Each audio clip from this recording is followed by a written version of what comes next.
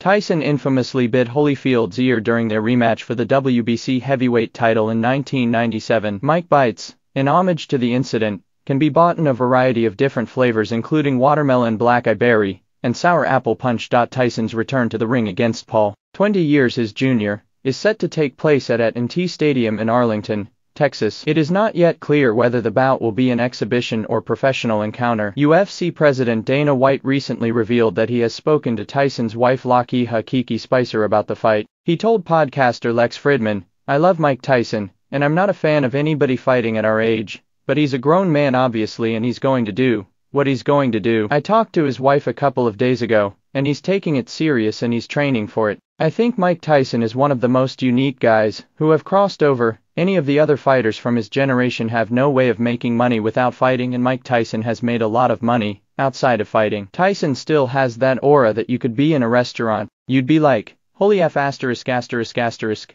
Mike Tyson is here. He still has that aura and energy in a room. He makes lots of money outside of the ring, but I think he ends up getting these offers that he can't refuse.